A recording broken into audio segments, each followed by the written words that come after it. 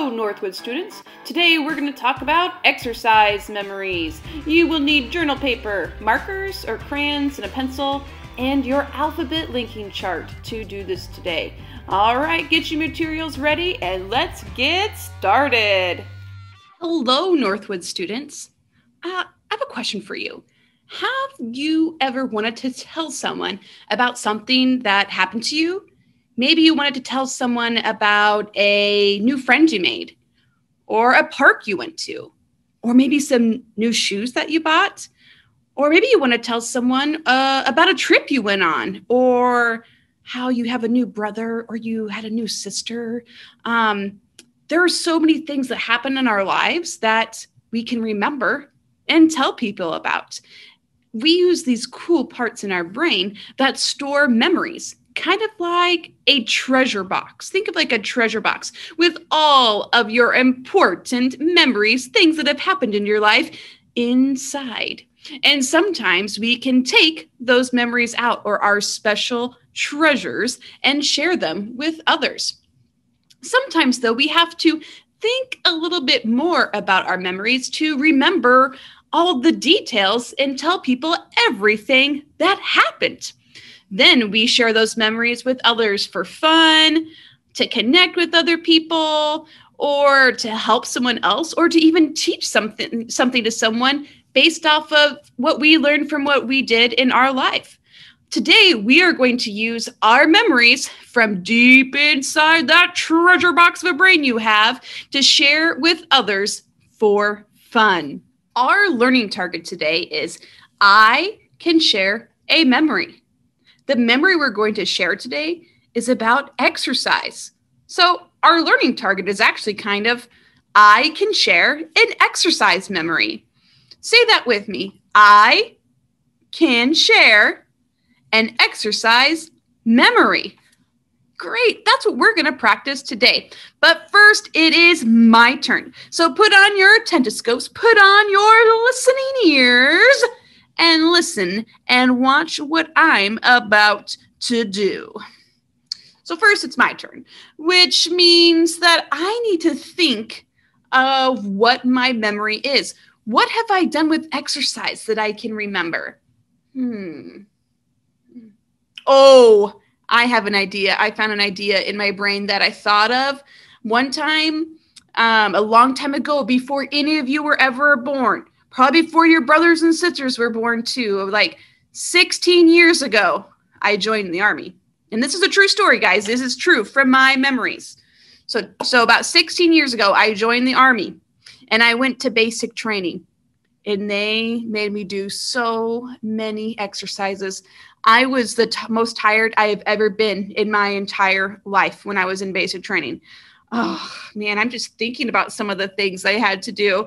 I'm remembering, I'm remembering all the details. They made me do so many push-ups, so many push-ups. We ran all the time. We ran and marched everywhere. After we ate dinner, they would take us to this hill and make us run up and down the hill until the first person would throw up. That was disgusting. So disgusting. I'm thinking of so many memories that I have from exercising and at basic training. Oh no, here they all come. The drill sergeants would say, Front leading rest position, move! And then they would make us do so many push ups. Run faster, soldier! Run faster! I swear that's what they were saying all the time. More push ups! Sometimes we even had to do push ups in the dirt and sand. We'd get filthy. Boy, was I exhausted in basic training.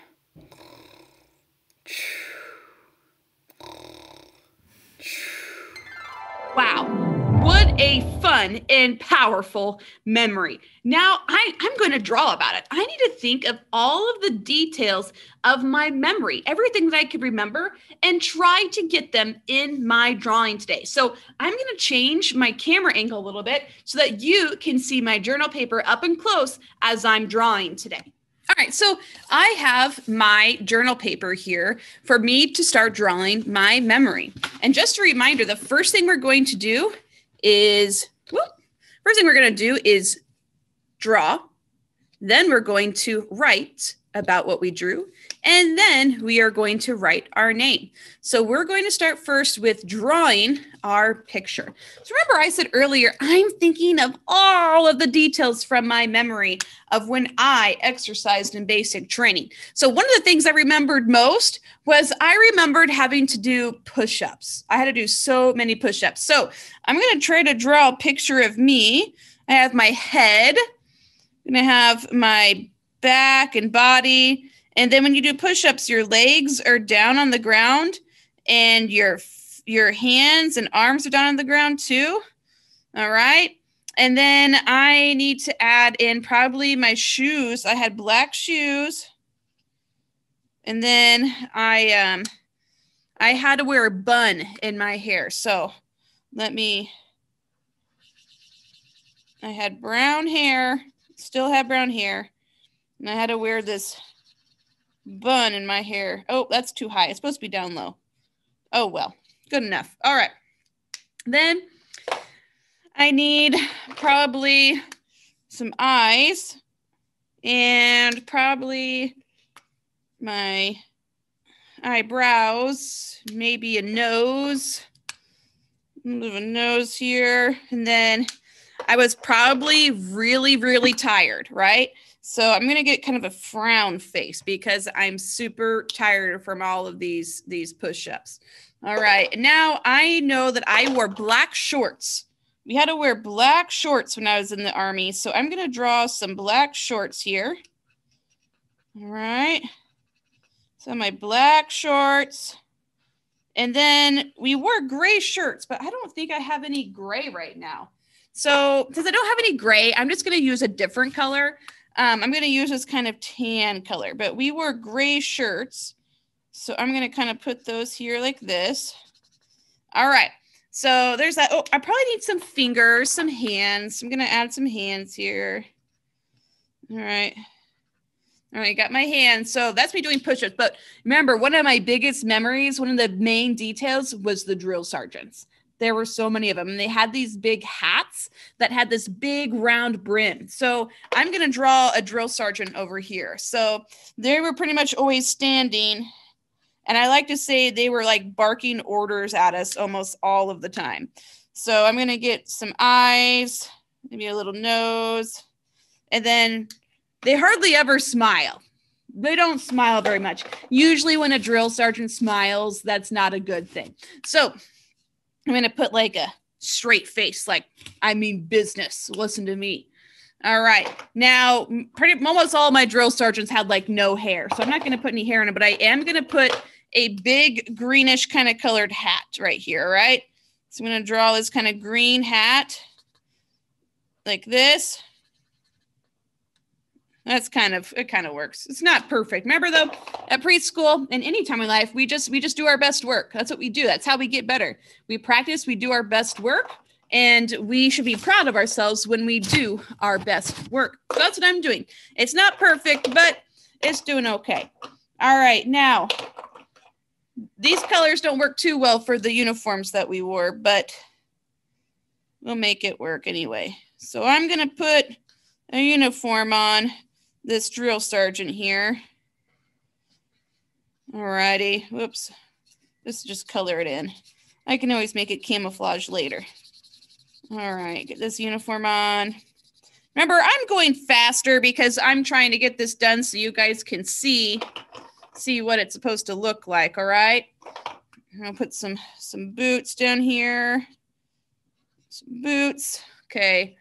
Now I'm going to need um, need some kind of camouflage looking print in here, right? So get some camo, some camo in here.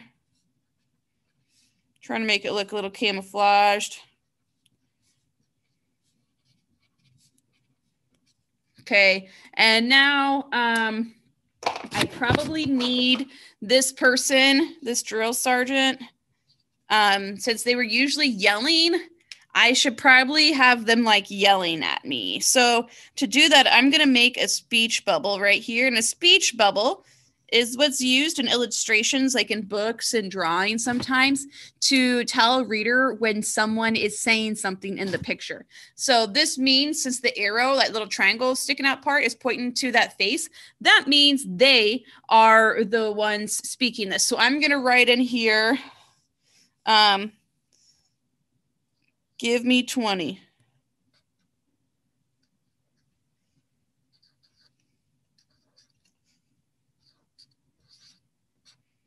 All right. He's saying, Give me 20 push ups, soldier. Private, get down there and give me 20 push ups, is what he's yelling. So there we go. So this is my exercise memory. I remember being at basic training with drill sergeants, always telling me to do push ups and all sorts of exercises. Hmm. Oh, wait. There's more. I forgot the next step. First, we draw our picture, but then we have to write about our picture. I almost forgot. All right, so let's look down here back at my picture. Now, what is it I'm going to write about? Hmm. Let's see. I'm going to write the sentence I did push ups. I'm going to write the sentence I did push ups. When you get to this part, you might want to use a pencil because a pencil has an eraser. So if you make a mistake, um, it's easier to erase it and start over. However, pencil doesn't show up very well on here when I write, so it's hard. It'll be hard for you to see it. Uh, so instead, I'm going to use a marker, but this might be a time that you want to use a pencil. All right. So my sentence is, I did push-ups. You know what? Let's clap out that sentence, all right? Let's clap it out. It's gonna go like this. I did push ups. Those are the words in the sentence. Clap those out with me. I did push ups. Four claps means there are gonna be four words. So let's start with the very first word. The first word is I. Well, that's pretty easy because I know that I is a letter and that letter makes it sound it makes its name. So i know that i need i like in ice cream ice cream. So i'm going to write the letter i. That's going to be my first part. When i start writing i always start on this side the very left side at the top. So i'm going to make my i. All right. Now i need my second word in my sentence. The first word was i. Let's see. I like Oh, I need the word like, like. Now I'm going to stretch out the word like. You can do this with me. Rub your hands together like this. And we're going to stretch out the word like super slowly, stopping and listening to the sounds. Here it goes. Like, like. Okay, now when I stretch it out, I'm going to stop at the first sound to figure out what sound I need first in this writing. All right, so we're going to stretch out like again, stopping at the first sound. Ooh, ooh, ooh. All right, let's look at the linking chart. Ooh. What letter makes the sound ooh? Now, I know that leaf, leaf starts with the sound ooh. So that means I'm going to need the letter L.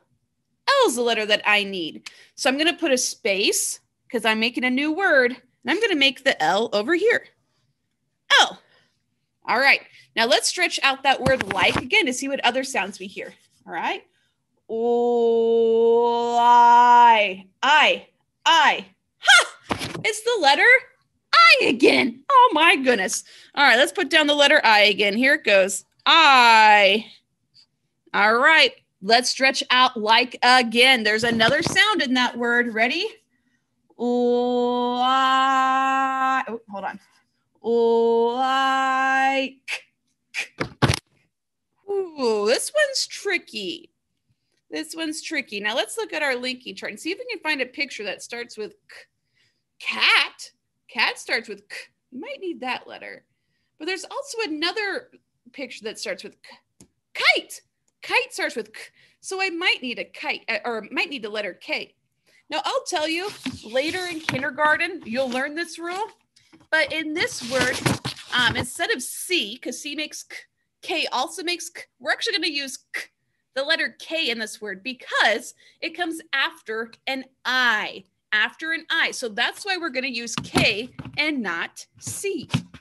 All right. So what we're going to do is go here next to the I. We're going to make K. Now, those were the only three sounds we could hear and like. But like I said, um, I've said this before, there are lots of rules in our language, especially in spelling. Now, in the word like, there's a special letter at the end. It's the letter E, and it's called a bossy E or a magic E. And that E makes other letters say their name, makes other vowels. So in this word, the reason why I says its name and doesn't say I is because, like, there's a E there's a bossy E at the end of this word that makes I say its name. If there wasn't an E, this would be lick, but it'd be spelled wrong because there isn't a CK, which you'll learn about that in kindergarten too. Let's not get ahead of ourselves today. So this word is like here. I have I like. Now remember, you're you're in preschool, right? You're not 30 some years old like me. So I know how to write some of these words perfectly, but that's because I've had a lot of practice writing since I was a little kid. And you need to have that practice too. That means sometimes your writing's not going to be perfect. It's going to be your best work. And our best work is what helps us get better. So the more you practice, even if it's not 100% right, the better you are going to get. You're not supposed to be able to write every word yet. You're only four, five, maybe three years old you don't need to be writing all these words yet. You have to do your best. You got it. Oh goodness, I better hurry up. We're making taking too long on this sentence. All right, so I have I like. Now you push up. P, p, p, push up. The first sound is p for P. And now this word is a little tricky because it has some sounds in it that are harder. So I'm going to finish writing push. I have I like push. And Now I need ups. Uh, uh, uh. That's the sound that ah, you makes like an umbrella. So I need uh for umbrella. Put I like push ups. Oh my goodness, I just realized what I did. I wrote I like push ups and not I did push ups. What in the world was I thinking? I don't really like push ups that much anymore. We're going to stick with it though. All right. I like push up. That's a P. And we need one letter at the end. I like push ups. What letter makes a sound? That's right. We have the sound for S. And I'm going to put a period at the end. And this says, I like push ups. Now remember, I was supposed to write I did push ups, but for some reason my brain wanted to tell me that I like push ups today. I'm not sure I believe it, but maybe that's what the drill sergeant was thinking. All right, so here is my memory. I have give me 20 push ups because that's what I remember from exercising. I remember having to exercise at basic training, and the drill sergeant's always telling me to do push ups. And then I wrote about it at the bottom. But remember, I said there were three steps. First, we draw the picture, we write about the picture, and then we write our name. So I'm going to write my name up here at the smiley face. I'm going to write Miss Ashley. Now, I'll be honest, I'm writing sideways. This is rather tricky. All right. And there is my name. Now, today, you are going to have a turn to do the same thing you're going to draw and write about your exercise memories. Hmm. Maybe you have a memory of doing exercises at home, like going for a walk around your house, going for a or, or going for a hike. Maybe you ride a bicycle or a tricycle. Maybe you've gone running before. Maybe you do jumping jacks. Maybe you've gone swimming. What's a time that you've exercised? I want you to think about it for a little bit. Think of all the details, every part of that memory. Dig it out of that treasure box of memories in your brain, pull it out, and try to remember every single detail. Once you have an idea about what you want to draw for your exercise memory, go ahead and start drawing on your journal paper. When you're done, you're going to write about your your drawing at the bottom then write your name on top too if you are doing this, I want you to make sure to take a picture of it and send it to your teachers on Seesaw too, so they can see all of your fabulous work today. All right, guys, I hope you have a fun time with your exercise memories, and I can't wait to see all of your awesome drawings. Take care, everyone, and we'll see you next time. Bye.